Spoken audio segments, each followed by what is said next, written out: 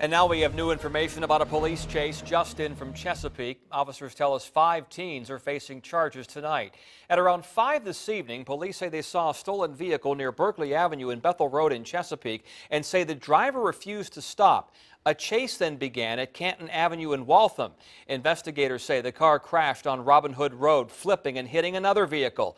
All five people inside were between 14 and 15 years old. No one, including the driver of that second car, was seriously hurt.